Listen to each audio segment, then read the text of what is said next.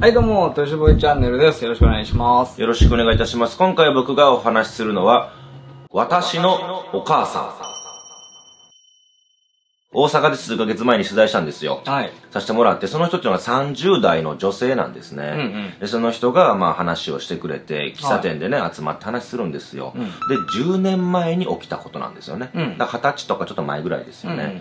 うんで、その人っていうのはお母さんがいたんですよ。はい。で古い日本家屋で持ったお母さんと二人暮らしで暮らしてたんですね。うん。そしたらですね、そのお母さんとものすごい仲悪いんですよ。うん。二人暮らしやのに、何回いろいろ質問しても無視されるみたいだいぶ仲悪いね。な。ね、ご飯出してももう食べないんですよ。娘が作ったものに対してね。うん。で、もう嫌やなと思って、でも自分としては二人で暮らしてるから、うん何度も何度も根気強く話しかけるんだけれども、うん全部無視されるんですよ。うん。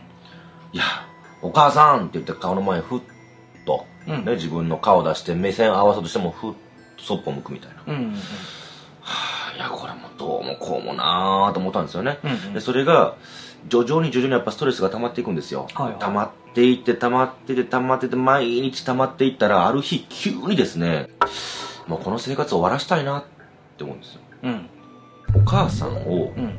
亡き者にしちゃえば、うん。まあこれからは自分の人生を歩めるから、うん。いなくなってほしいなって思うんですよ。うん。そう思ったら、もうどんどんその、要はいなくなってほしいの感情のが買ってきちゃって、はいいや、そんなことしちゃいけないよね。普通に法律とかあるし、うん。いや、でもいなくなったら自分の人生には使えるんだよな。夜中にご飯作ることもない。でもそもそも食べないしな。いや、でも、いやもう、いなくなったらもうこのお母さんにご飯作る時間っていうのを自分に使えるんかと思ったら、うんどんどんその自分に使える時間が増えていくっていうふうに希望の方が勝っちゃって、うん。ちょっとお母さんをどうにか殺めようと考えるんですよ。だいぶ冷静なんでできないよね。できてないですね。その中で考えたのが、でもやっぱり実の母だから、うん。うん。最後にすごいいい思いしてほしいなって思って、うん。自分の家のはちょっとだけ離れているところに綺麗な旅館があるんですよ。はいはい。その旅館に連れて行って、綺麗な部屋でうん。お母さんに美味しいもの食べさせて、うん。で、綺麗な景色見させて、うん。その夜に自分の手でどうにかやろうって思うんですよ。うん。一番簡単なのがやっぱり首を絞めるっていうことかなと思って、うん。縄を買ってくるんですよ。うん。で、明日、もうお母さんを旅館に連れて行ってっていう日になって、うん。いろいろ調べてたら、縄そのまま首絞めたら、首にクックックックって刺さるかもしれない。なんかあの、チクチクする、そうそうそう、綱引きとかでもグッと引っ張ったら痛いじゃないですか。だから、縄をグッとヤスリで持って綺麗にした方がいい書いてあったんですよ。そう。だから綺麗にしようと思っていく。と綺麗にするんですよ。うん。うん。で、綺麗にして、し終わって、明日の、まあ、プランを考えるんですよ。うんで、こう見てて、ああ、そうか、私とった部屋ここだもんな。で、明日はこんなご飯が出るんだ、と。で、その場所っていうのが、その季節によって変えてくれるから、あ、明日はこういうメニューなんだ。じゃあお母さん喜ぶな。これ好きだもんな。天ぷらとか出るには好きやもんな。と思ったらしいんですよ。この景色でもって、部屋でもって、えっ、と、18時から19時ぐらい外にいたらすっごい綺麗な夕暮れで、この時期。で、川が前が流れてね、チャラチャラ流れて、そこをふと照らして、で、夜と夕方の間がすっごい綺麗っていうのを調べるんですよ。うん。で、その後かって考えて。ちゃんとやってあげないとな、苦しまないようにって思ったらもう綺麗なんだけどな、もっとまたグッと安いと思って、綺麗にするんですよ。なるほどね。そんなこと考えたら朝なってるんですよね。で、あ、もう、じゃあ、お母さん連れて行こうって言って、まあ、その人の部屋っていうのが2階なんで、2階から降りて行って、で、え玄関入って左手にお母さんの部屋があるんですよ。はい。でお母さんの部屋をガーッと開けて、で、車椅子なんでね、お母さん足悪いんで、で、車椅子をグッと掴んで、そのまま玄関まで連れてって、うん玄関ガラガラーっと開けて、後ろグッと持って、じゃあお母さん行くよって言って、うん。その時に思うんですよ。あ、ここ帰ってくるのはもう一人かって。うん。次帰ってくる時は。うんってことはお母さんといられる家っていうのも、この時間が最後なんやと思ったら、ツーッと涙が流れるんですよ。バレたらあかんからと思って、グッと拭って、じゃあ行こうかお母さんつって、車椅子のまあ後ろのところのグッと掴んで、うん押すんですよ、車椅子をね。うんグーッと押してって、で朝やったから、うんその光がふっとさして、で、顔をね、うん。照らすんですよ。はいはいは顔をふっと照らしたら、なんかわかんないですけど、車椅子が軽くなるんですよね。い。うん。あれ？軽いな。ふって見てみたら、お母さんいないんですよ、どこに。も。うん。あれ？お母さんおらん？みたいな。うん。さっきまで乗ってたのになと思うんですけど、いや、それ以前に、うん。私にお母さんなんていないよね。って思うんですよ。うん？うん。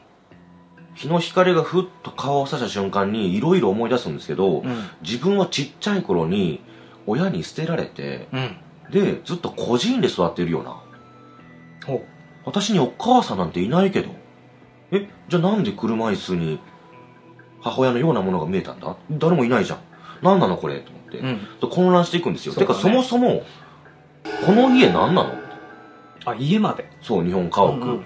え、何なのこれ？と思ったら、徐々に徐々に思い出して、はっきりして思い出したんですけど、うん自分っていうのが、そのまあ18から20ぐらいになって、で、うん。個人いたんだけれども、やっぱそこから出て、自分の生活を送りたいからということで、うん。まあ仕事も探して、自分の部屋も探そうという時に、いきなり部屋なんて借りれないから、うんうんうん。まあ院長さんがおると。はいはい。その院長さんに、ごめんなさいと、うんここ出ようと思って、自分でもまあ生活しようと思ってるから、院長さんが前話してくれた、ご実家ありましたよねって、うんここから近いっていう、うんうんそこ貸してくれませんかねって言ったら、あ、そう、喜ばしいことやね。じゃあ貸してあげましょうって言って貸してもらうんですよ。はいはただその貸してあげるんだけれども、一つだけルール守ってくれ。いそのルールっていうのは、玄関から入って左手、うんうんこれがね、亡くなったお母さんがずーっと使ってた部屋なの。うんそこは絶対に開けんといてね。うんそのまんまにしてあるから、あんまり触ってほしくないのよ。あ、わかりました。じゃあそれだけ守りますねって言って入るんですよ。で、はいは入って自分のものを、まあ、2階にね、結構広い部屋があったんで、いうんで、そこに物を置いて自分の部屋としたんだけれども、まあ、生活していく中で、なぜかですね、その、院長さんが入っちゃいけないと言ってたお母さんの部屋、うん入って左手の部屋が物音するんですよ。ガタン、ガタン、ガタン、ガタンって。なんやこれ気持ち悪いなと思って、でも入ったらいかんって言われてるし、もう入らんとこでも気持ち悪いなと思ってたら、もうずっとなるんですって。うん。で、もうある時に、これもしかしたら、泥棒入ったらどうしよう。うん。可能性としてそう、ね物、そのまま残してるって言ってるしとか犬猫が履いてたら糞尿とかして臭い臭いなってたら畳腐るんちゃうかと思って綺麗な日本家屋やのにと。だからこれ一回まあ院長先生の約束やることになるけどこれ開けた方がいいよなって言って手かけてうん。グッと開けるんですよ。うん。開けたら部屋があってね、うん。中央にうん。車椅子があって車椅子がうん。誰も座ってないのに、うん。前後ろ前後ろ前後ろってうん。動いてるんですって、そうギシギシギシギシギシギシって風もないのに。うん。それを見た瞬間に車椅子の上にいる女性をお母さんと思ってずっとご飯出したりとか話しかけたりしてたと。うん。でも無視されてたってうん。いうのを思い出すんですよ。全然よくわかん怖いやないですか、うんうんうん。でこれちゃんと院長に言わんとなと思って院長にこんなことがあって申し訳ないんだけどあなたの言ってた部屋開けてもうてそっからなんか変な車椅子に女性が見えてって言ったら院長先生もああなんか変な話聞いてるはずなのに、うん。なんか納得したみたいな顔してるんですよ。えねどうされたんですか？って聞いたら、それ多分僕の記憶だね。うん。どういうことですか？って言ったら、実はね、僕も、まあ数十年前なんだけど、お母さんとね、すっごい仲が悪くって、うん。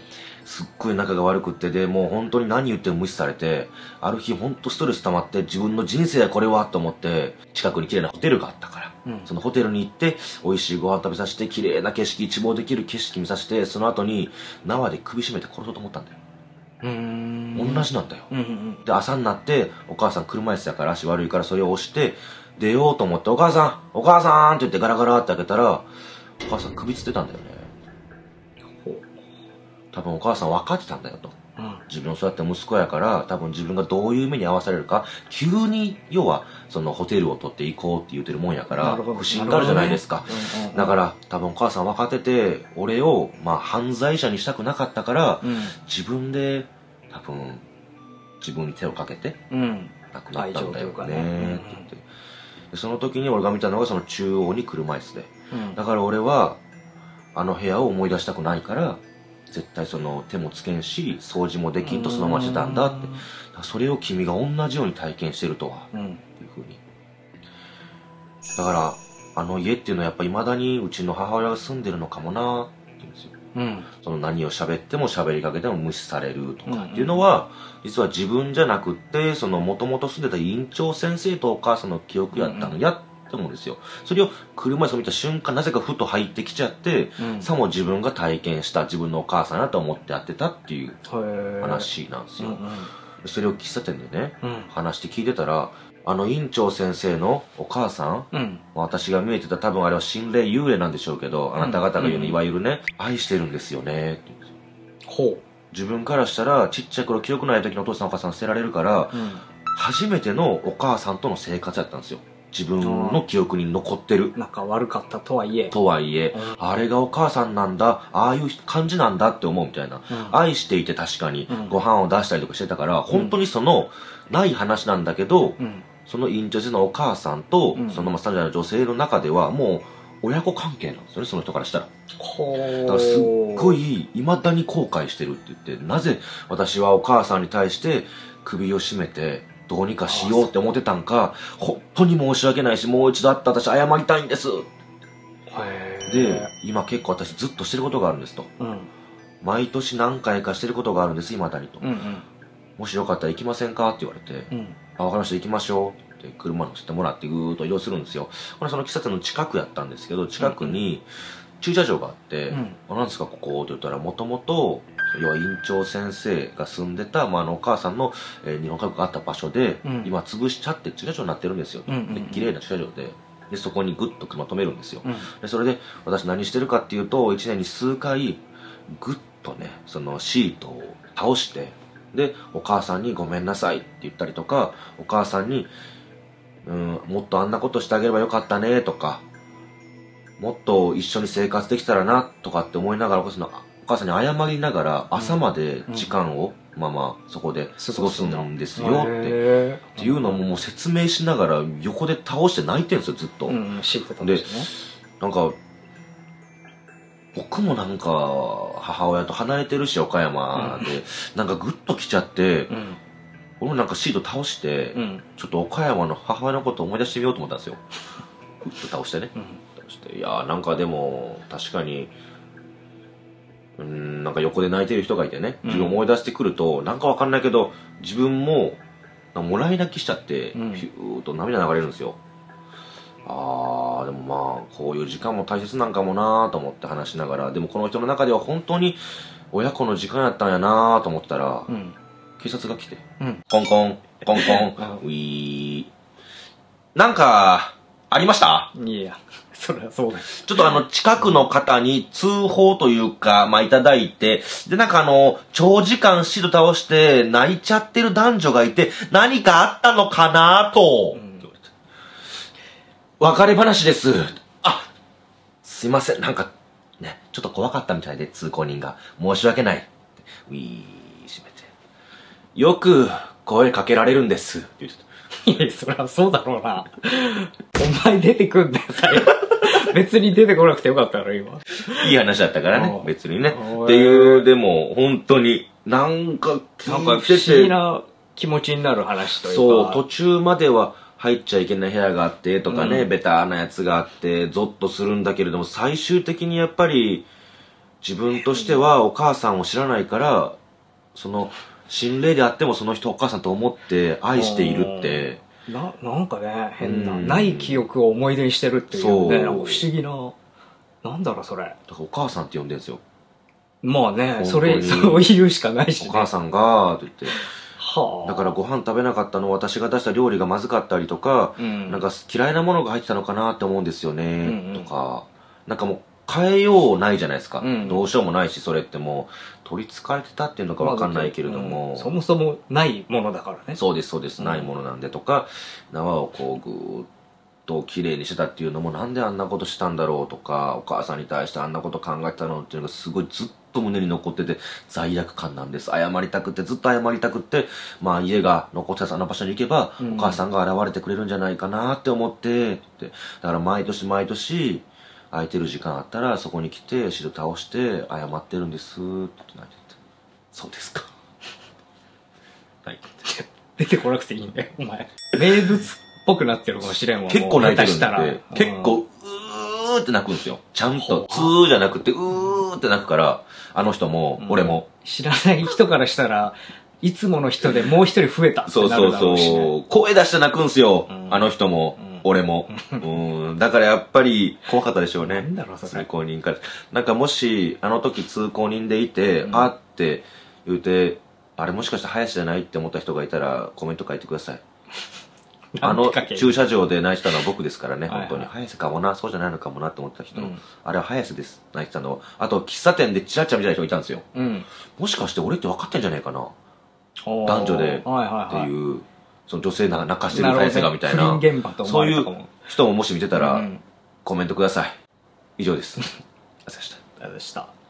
はい。ということで、我々サブチャンネルもやっております。としみなきチャンネル、そちらも登録お願いします。はい、お願いします。えーさらに、ニコニコチャンネル、としぼいずの秘密クラブ、こちら会員制でやっております。こちらもお願いします。はい、お願いします。我々1億人突破を目指しております。1億人突破しましたら、お話をね、取材していくと、やっぱりその霊に対して特別な感情を抱くみたいなのがあったりするんですよ。うん。